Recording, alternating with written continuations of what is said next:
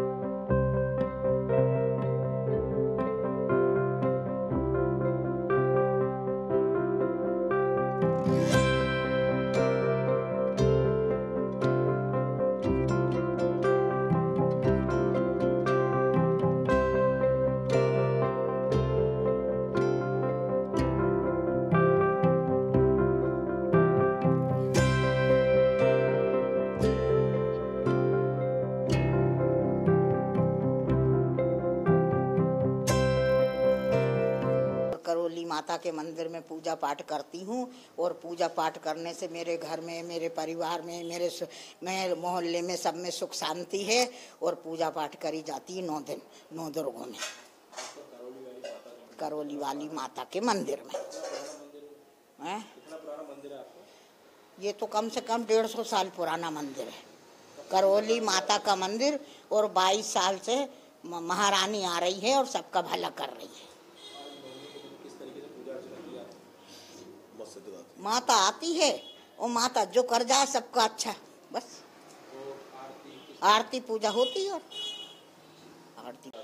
नवरात्रि के दिन माँ सत्यदात्री की पूजा होती है।